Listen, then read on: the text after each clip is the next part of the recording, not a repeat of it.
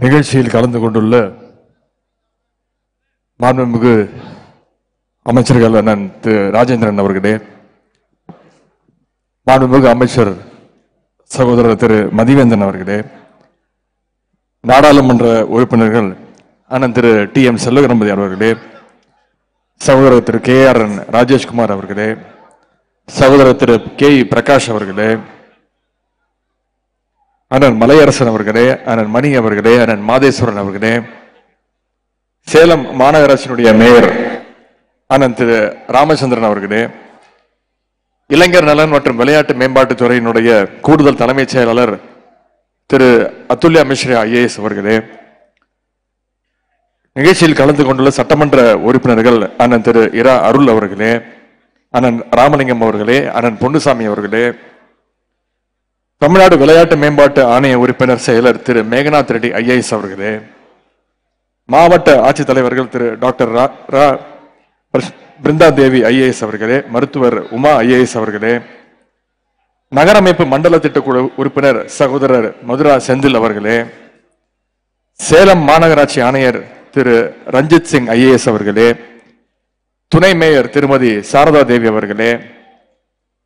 Para Olympic போட்டியில மூன்று முறை பதக்கம் வென்ற சகோதரர் மாரியப்பன் தங்கவேல் அவர்களே பாரா ஒலிம்பிக் போட்டி பேட்மிண்டன் போட்டியில் வெள்ளிப்பதக்கம் வென்ற சகோதரி துளசிமதி முருகேசன் அவர்களே மாவட்ட கழக செயலாளர் அண்ணன் திரு எஸ் ஆர் சிவலிங்கம் அவர்களே அண்ணன் தரங்கம் சுப்பிரமணியம் உள்ளிட்ட கழகத்துடைய அனைத்து நிர்வாகிகளே மாவட்ட வருவாய் அலுவலர் திருமதி மேனகா அவர்களே ஸ்போர்ட்ஸ் கிட்டை பெற வந்துள்ள உள்ளாட்சி அமைப்புகளுடைய பிரதிநிதிகளே விளையாட்டு வீரர்களே வீராங்கனையர்களே வங்கிக் கடன் இணைப்புகளை பெற வந்துள்ள மகளிர் சுய உதவி குழுக்களைச் சேர்ந்த என் அருமை சகோதரிகளே தாய்மார்களே வீட்டு மனை பட்டா உள்ளிட்ட நலத்திட்ட உதவிகளை பெற வந்துள்ள பயனாளிகளே பத்திரிகை மற்றும் மீடியா நண்பர்களே பெரியோர்களே தாய்மார்களே உங்கள் அனைவருக்கும் என் இனிய காலை வணக்கத்தை தெரிவித்துக் கொள்கின்றேன். சேலம் மற்றும் நாமக்கல் மாவட்டங்களைச் சேர்ந்த எழுநூற்றி பத்து ஊராட்சி மன்றங்களுக்கு ஆயிரத்தி நூற்றி பத்து எண்ணிக்கையிலான கலைஞர் ஸ்போர்ட்ஸ் கிட்ஸ் வழங்குகின்ற நிகழ்ச்சி.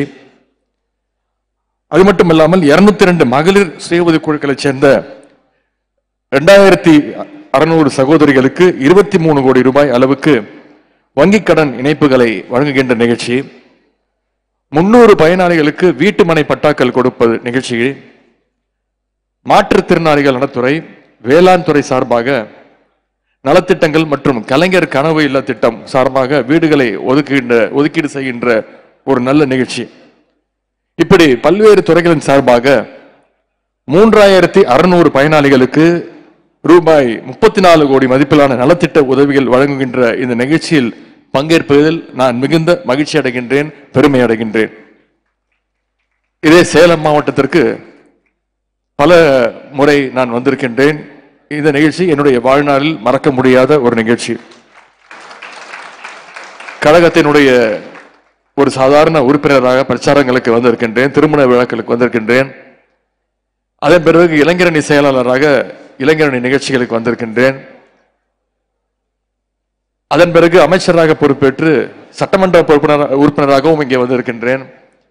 அமைச்சராக பொறுப்பேற்று பலமுறை சேலம் மாவட்டத்திற்கு ஆய்வுக் கூட்டங்களுக்கு வந்திருக்கின்றேன். இன்னும் சொல்ல போனால் இளைஞரணியினுடைய மாநாட்டையே இந்த சேலம் மாவட்டத்தில் தான் வெற்றிகரமாக நடத்தி முடித்தோம். ஆனால் இந்த முறை இன்னும் கூடுதல் பொறுப்போடு தமிழ்நாட்டினுடைய துணை முதலமைச்சராக பொறுப்பேற்று முதன்முறையாக சேலம் மாவட்டத்திற்கு வந்து அதுவும் நம்முடைய முத்தமிழ் டாக்டர் கலைஞர் பெயரில் அமைந்துள்ள இந்த கலைஞர் ஸ்போர்ட்ஸ் கிஸ் திட்டத்தை துவங்கி வைக்கின்ற நிகழ்ச்சியில் பங்கேற்பதில் நான் மிகுந்த மகிழ்ச்சி அடைகின்றேன். தமிழ்நாட்டில் உள்ள பன்னிரெண்டாயிரத்தி ஐநூத்தி இருபத்தி ஐந்து கிராம பஞ்சாயத்துகளுக்கு ரூபாய் எண்பத்தி ஆறு கோடி மதிப்பீட்டில் விளையாட்டு உபகரணங்கள் ஸ்போர்ட்ஸ் கிட்ஸ் வழங்க வேண்டும் என்றுதான் கலைஞர் ஸ்போர்ட்ஸ் கிட் திட்டத்தை இந்த ஆண்டு பிப்ரவரி பிப்ரவரி மாதம் நாங்கள் தொடங்கி வைத்தோம். இந்த திட்டத்தின் கீழ் இதுவரை இருபத்தி ஆறு மாவட்டங்களில் கலைஞர் ஸ்போர்ட்ஸ் கிட்ஸை வழங்கி இருக்கின்றோம் அதன் ஒரு தொடர்ச்சியாக இன்றைக்கு இந்த நிகழ்ச்சி இவ்வளவு சிறப்பாக நட- நடைபெற்றுக் கொண்டிருக்கிறது. இந்த மேடையிலே எங்களை தவிர துணை முதலமைச்சர்கள் அமைச்சர்கள் சட்டமன்ற உறுப்பினர்கள் மக்கள் பிரதிநிதிகள் தவிர இரண்டு முக்கியமான விஐபி விஐபிக்கள் உட்கார்ந்துருக்கிறாங்க. அவங்க யாருன்னு உங்களுக்கே தெரியும். சேலம் மாவட்டத்தைச் சேர்ந்த பேரா அத்லீட் தம்பி மாரியப்பன் தங்கவேல் அவர்கள் இங்கே வருகை தந்திருக்கின்றார். அதே போல தமிழ்நாட்டுடைய பெருமையாக திகழ்கின்ற பேரா பேட்மிண்டன் வீராங்கனை தங்கை துளசிமதி முருகேசன் அவர்களும் இங்கே வருகை தந்திருக்கின்றார்கள். இந்தியாவுடைய தங்க மகன் மாரியப்பன் தங்கவேலும் தங்கை துளசிமதியும் பேரா ஒலிம்பிக் உட்பட ஏராளமான இன்டர்நேஷனல் சர்வதேச தேசிய அளவிலான போட்டிகளில் எண்ணற்ற பதக்கங்களை குவித்து வருகின்றவர்கள். இவர்கள் விளையாட்டுத் துறையில சாதிக்க துடிக்கின்ற பலருக்கும் ஊக்கம் அளிக்கின்ற வகையில பல்வேறு சாதனைகளை படைத்து வருகின்றார்கள். அவர்கள் அனை இருவருக்கும் நாம் அனைவரும் சார்பாக ஒரு மிகுந்த கைத்தட்டலை அளித்து அவர்களுக்கு நம்முடைய பாராட்டை தெரிவித்துக் கொள்வோம். தங்கை துளசிமதி பேசும்பொழுது இங்கே சொன்னார் அண்ணன் மாரியப்பன் தங்கவேல் அவர்கள்தான் எனக்கு இன்ஸ்பிரேஷன் அவருக்கு இன்ஸ்பிரேஷன் என்று அவர் குறிப்பிட்டார். இன்னும் சொல்லப்போனால் எனக்கு இன்ஸ்பிரேஷன் தங்கை துளசிமதி அவர்கள் தான் கல்லூரி படிக்கின்ற காலத்தில் நானும் பேட்மிண்டன் ஆடிக்கிட்டு இருந்தேன். ஆனால் அதன் பிறகு நேரம் கிடைக்கவில்லை. இப்பொழுது தங்கை துளசிமதி அவர்கள் செய்கின்ற சாதனைகள் ப- பெறுகின்ற வெற்றி பெறுகின்ற பதக்கங்களையும் பார்க்கும் பொழுது நானும் வாரத்திற்கு ஒரு நாளாவது ஒரு மணி நேரமாவது பேட்மிண்டன் பேட்மிண்டன் ஆட வேண்டும் என்ற அந்த முயற்சியை நான் ஈடுபடுத்திக் கொண்டிருக்கிறேன். எனவே இப்பொழுது எனக்கு இன்ஸ்பிரேஷன் தங்கை துளசிமதி அவர்கள்தான்.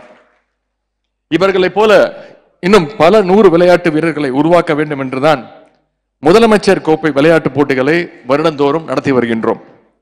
இந்த முதலமைச்சர் கோப்பை விளையாட்டு போட்டிக்காக இந்த வருடம் நம்முடைய முதலமைச்சர் அவர்கள் ரூபாய் எண்பத்தி மூணு கோடி ரூபாயை ஒதுக்கீடு செய்யப்பட்டு முப்பத்தி ஆறு வகையான விளையாட்டு போட்டிகள் நடத்தப்படுகின்றன. முதலமைச்சர் கோப்பை விளையாட்டு போட்டிகள் பங்கேற்க கடந்த ஆண்டு விண்ணப்பித்தவர்கள் கலந்து கொண்டவர்கள் ஆறு லட்சம் பேர். தமிழ்நாடு முழுக்க ஐந்து பிரிவுகள் நடந்துச்சு. ஆனால் இந்த ஆண்டு இந்த முதலமைச்சர் கோப்பை விளையாட்டு போட்டி இரண்டாயிரத்தி இருபத்தி நாலாம் ஆண்டு விண்ணப்பித்து கலந்து கொண்டவர்களுடைய எண்ணிக்கை சென்ற வருடம் ஆறு லட்சம் இந்த வருடம் பதினோரு லட்சம் பேர் இந்த விளையாட்டுப் போட்டிகளில் முதலமைச்சர் கோப்பை விளையாட்டுப் போட்டிகளில் கலந்து கொண்டிருக்கிறாங்க. இது ஒண்ணே எடுத்துக்காட்டு இந்த விளையாட்டுப் போட்டி எவ்வளவு மிகப்பெரிய ஒரு வெற்றி அடைந்திருக்கிறது என்று. இந்த போட்டிகளில் வெற்றி பெறும் வீரர்களுக்கான பரிசு தொகையை நம்முடைய முதலமைச்சர் அவர்கள் ரூபாய் முப்பத்தி ஏழு கோடி ரூபாயாக இந்த வருடம் உயர்த்தி கொடுத்திருக்கின்றார்கள்.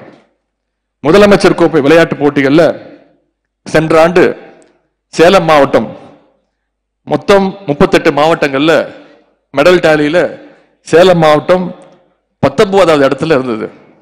இந்த முறை உங்களுடைய விளையாட்டு வீரர்களுடைய உழைப்பால முப்பத்தெட்டாவது முப்பத்தெட்டு மாவட்டங்கள்ல இன்றைக்கு சேலம் மாவட்டம் தமிழ்நாட்டில் மூன்றாவது இடத்துல இன்றைக்கு இருந்திருக்கிறது.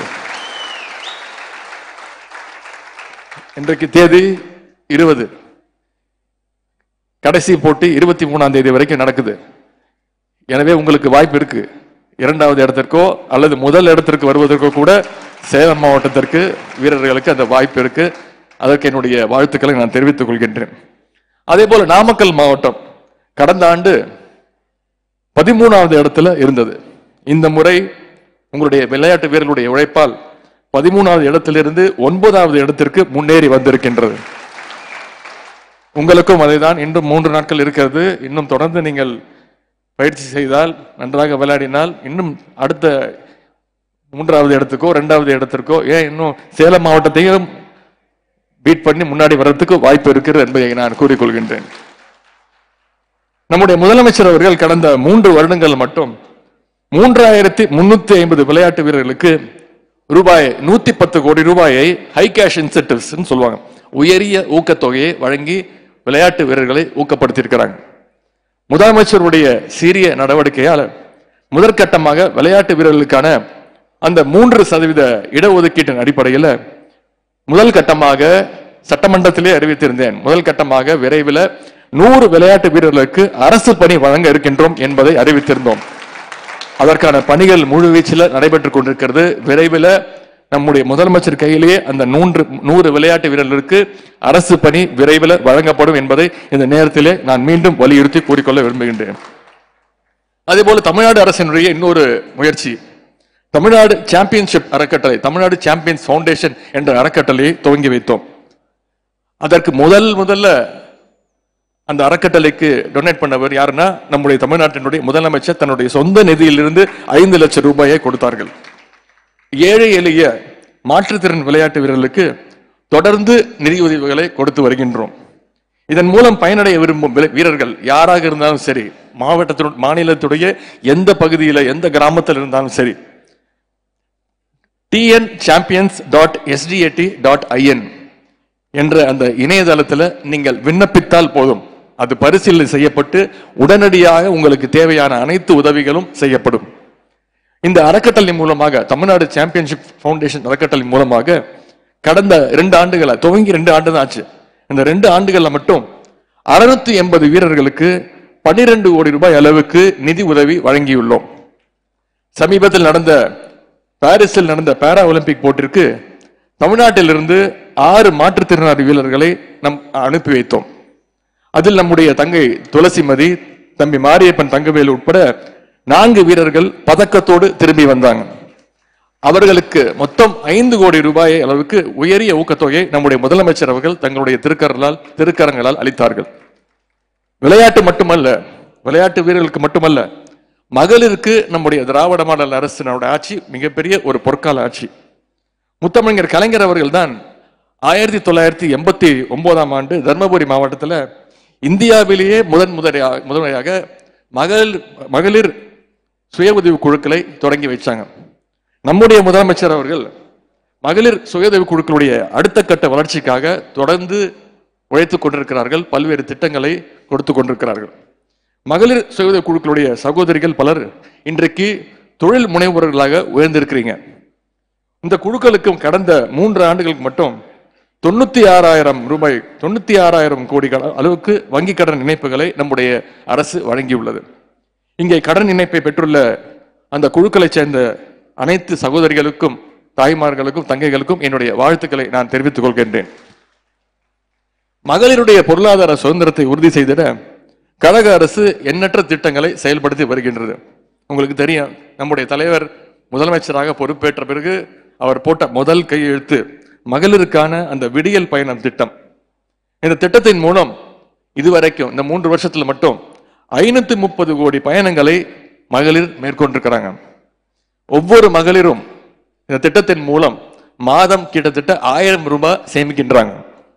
மகளிர் காலையில் எழுந்திருச்சு பிள்ளைகளுக்கு சமைச்சு கொடுக்க சிரமப்படக்கூடாது என்பதற்காக காலை முதலமைச்சருடைய காலை உணவு திட்டத்தை நம்முடைய முதலமைச்சர் அவர்கள் அறிவிச்சாங்க. இந்தியாவிலே முதன்முறையாக அறிவிக்கப்பட்டது நம்முடைய தமிழ்நாட்டில் தான் தினமும் திங்கள் முதல் வெள்ளி வரை ஒன்னாம் வகுப்பிலிருந்து ஐந்தாம் வகுப்பு வரை படிக்கக்கூடிய குழந்தைகள் தினமும் இருபது லட்சம் குழந்தைகள் இந்த முதலமைச்சர் காலை உணவு திட்டத்தின் மூலம் பயன்பெற்றுவிட்டு வராங்க. அரசு பள்ளியில் படித்து உயர்கல்வியில் சேரும் விரும்பும் மாணவிகளுக்கு எந்த காலேஜாக இருந்தாலும் சரி பிரைவேட் காலேஜாக இருந்தாலும் சரி புதுமை பெண் அப்படின்ற திட்டத்தை நம்முடைய முதலமைச்சர் அவர்கள் அறிமுகப்படுத்தினாங்க இதன் மூலம் வருட வருடம் மூன்று லட்சம் மாணவிகள் மாதம் ஆயிரம் ரூபாய் கல்வி ஊக்கத்தொகையாக பெற்று வருகின்றார்கள். இது எல்லாவற்றுக்கும் மேலாக இந்தியாவே திரும்பி பார்க்கின்ற ஒரு திட்டமாக ஒரு திட்டம். தேர்தல் அறிக்கையிலே நாம் சொன்ன திட்டம் எதிர்க்கட்சிகள் இதை செயல்படுத்தவே முடியாது என்று சொன்ன திட்டத்தை நம்முடைய முதலமைச்சர் அவர்கள் சென்ற செப்டம்பர் மாதம் பேரறிஞர் அண்ணாவுடைய பிறந்த நாளில் அறிமுகப்படுத்தினாங்க. அதுதான் கலைஞர் மகளிர் உரிமை தொகை திட்டம். இந்த திட்டத்தின் மூலம் சென்ற செப்டம்பர் மாதம் முதல் இன்ற இந்த மாதம் வரை மாதம் மாதம் ஆயிரம் ரூபாயை கலைஞர் மகளிர் உரிமை தொகை திட்டமாக நம்முடைய அரசு வழங்கி கொண்டிருக்கிறது. ஒவ்வொரு மாதமும் ஒரு கோடியே பதினாறு லட்சம் மகளிர் இதில் பயன்பெற்று வருகின்றார்கள். நான் ஏற்கனவே பலமுறை கூறியிருக்கின்றேன் சில மாவட்டங்களில் சில பகுதிகளில் குறைகள் இருக்குது எங்களுக்கு வந்திருக்கு பக்கத்து வீட்டுக்காரங்களுக்கு வரல. எழுத்த வீட்டுக்கார அம்மாக்கு வந்திருக்கு எங்களுக்கு வரல அப்படின்று சில பிரச்சனைகள் இருக்குது சில கோரிக்கைகள் வந்திருக்கு. ஆனால் ஒன்றை மட்டும் நான் உறுதியாக கூறிக்கொள்கின்றேன். நானும் நான் தான் அந்த துறைக்கும் நான் தான் சிறப்பு திட்ட செயலாக்கத்துறையின் கீழ் தான் அந்த திட்டமும் வருகின்றது.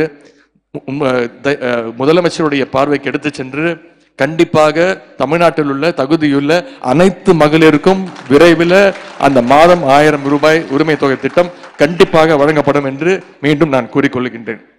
அதே இங்கே அதே போல இங்கே முன்னூறு பேருக்கு வீட்டுமனை பட்டாக்களை கொடுக்க இருக்கின்றோம்.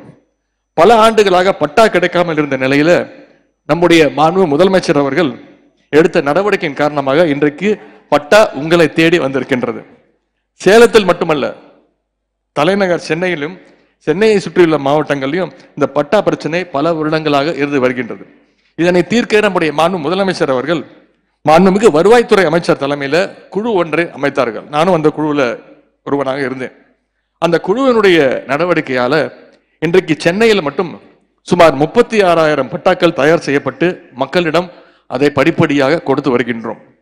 தமிழ்நாடு முழுவதும் பட்டா பிரச்சனை தீர்ப்பதற்கு நிச்சயம் நம்முடைய முதலமைச்சர் அவர்கள் அனைத்து நடவடிக்கையும் எடுப்பார்கள் என்று இந்த நேரத்தில் கூறிக்கொள்கின்றேன்.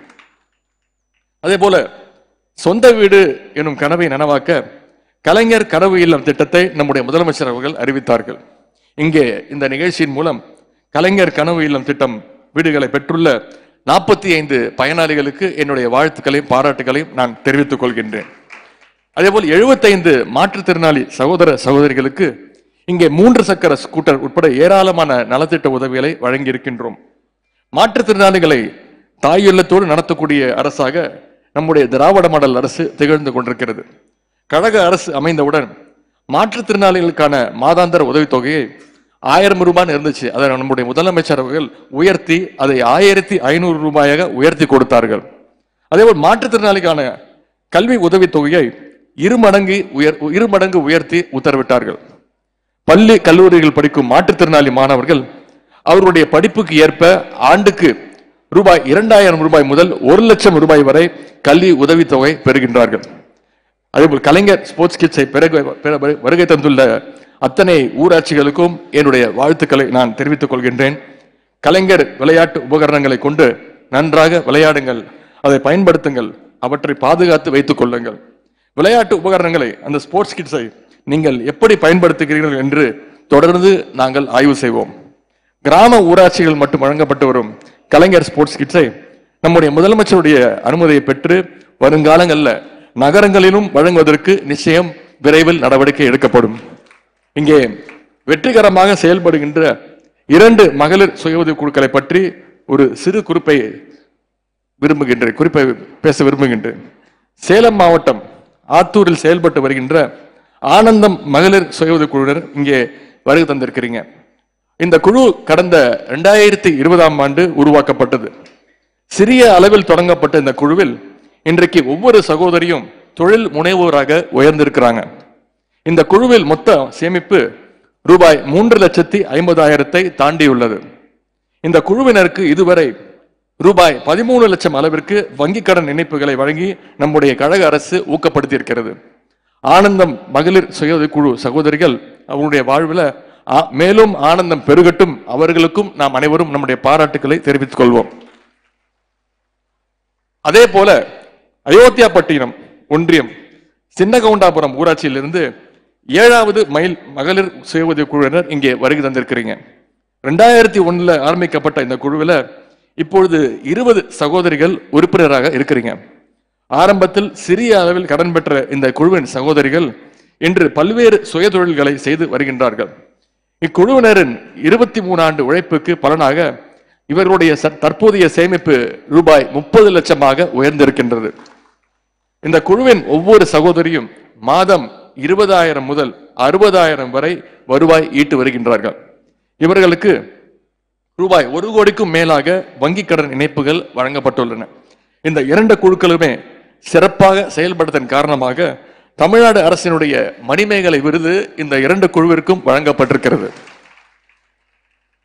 இந்த சகோதரிகளைப் போல இங்கே வந்திருக்கக்கூடிய ஒவ்வொரு மகளிரும் வாழ்வில் சாதிக்க வேண்டும். அதற்காகத்தான் இன்றைக்கு இருபத்தி மூணு கோடி ரூபாய் அளவுக்கு வங்கிக் கடன் இணைப்புகளை வழங்கியுள்ளோம்.